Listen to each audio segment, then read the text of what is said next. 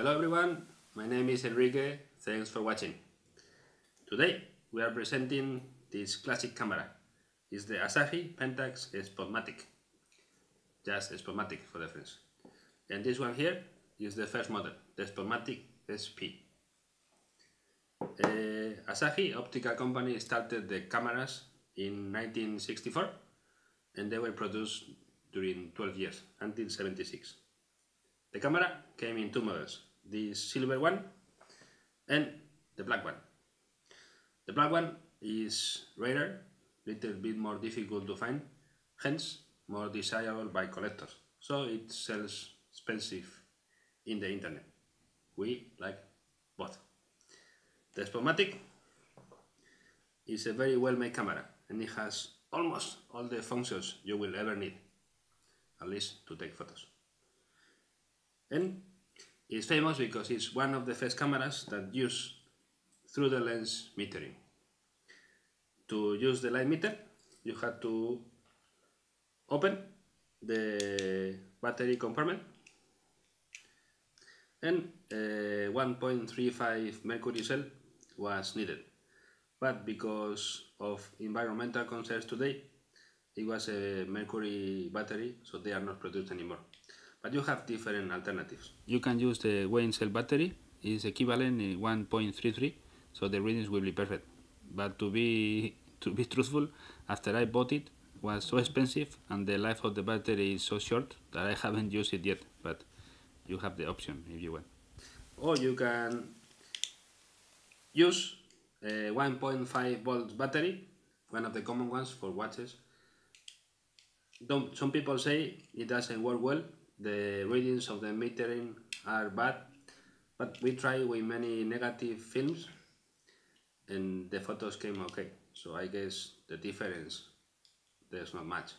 Anyway, in case you've got in your hands the battery for the light meter, to use it, you pull up the switch on the left side of the lens and then looking through the viewfinder you can change the aperture or the shutter speed until the needle on the right side is in the middle between the mass, the plus and the minus symbol. Then that means the exposure is correct. But every time you take a photo, the switch will come down.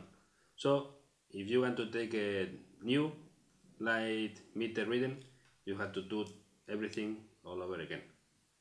And also for the speeds under 15th of a second, uh, it doesn't work. So you can continue changing the aperture and the speed and the needle will move.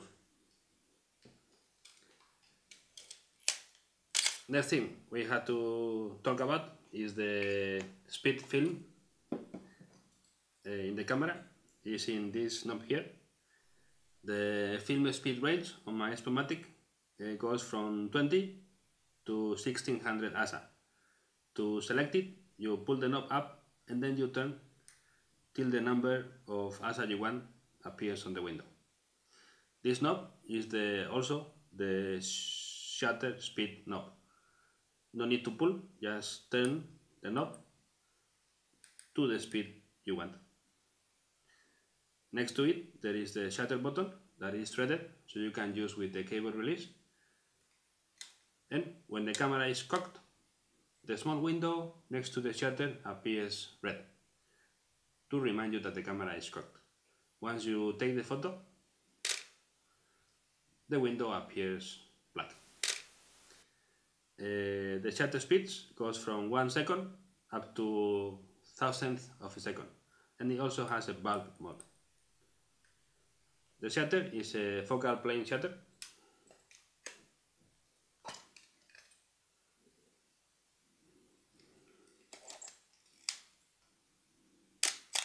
you see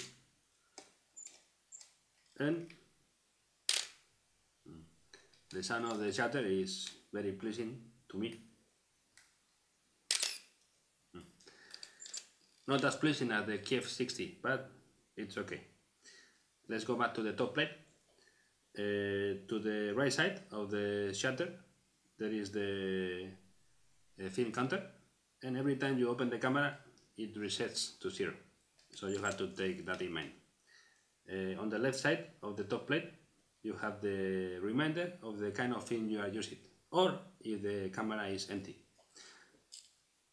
Sorry. So you have the empty, the panko. Panko is a kind of emulsion for black and white. So you have you can remember that the film inside is black and white, or you have a color for film color, and this I think is very curious. You have a sun symbol and kind of a bulb.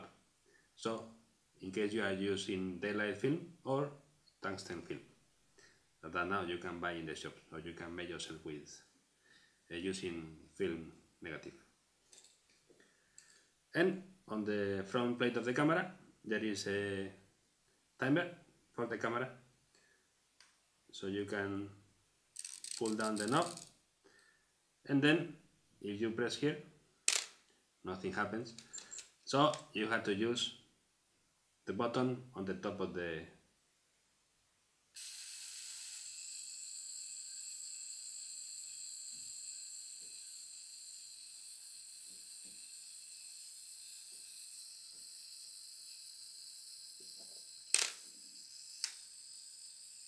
ah, very beautiful. It shuts by itself. On the other side of the front plate you have the two sockets for the flashes if you want to use flash. And the most important one of the things that attracts many people to the Spotmatic is the variety of lenses you can use. It uses the M42 mount and is the most used ones. So most of the big manufacturers of lenses made lenses for this kind of mount. Used to come with many lenses on the kit, but one of them is this one. It's a Takumar uh, 50 or 55 millimeter 1.8. But as you know, I'm in love with Soviet lenses. So today I'm going to use this one. This is a Zenitar 50 millimeter 1.7. To use it, you can mount on the camera.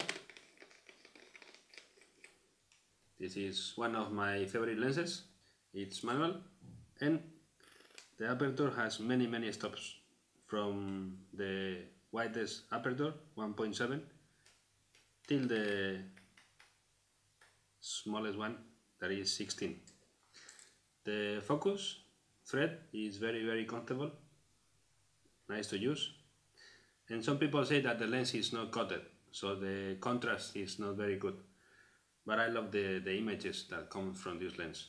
Also it's one of the sharpest ones that I've used while open. The cap was always falling down but it's no big deal. I just you put some gaffer tape on the cap and then it stays in place. Okay let's load some film and take it to the film. And you have to know once you finish the, the film you just press the button on the bottom of the camera and then you, you can just rewind the film till the end. That's all. Thanks for watching and let's go.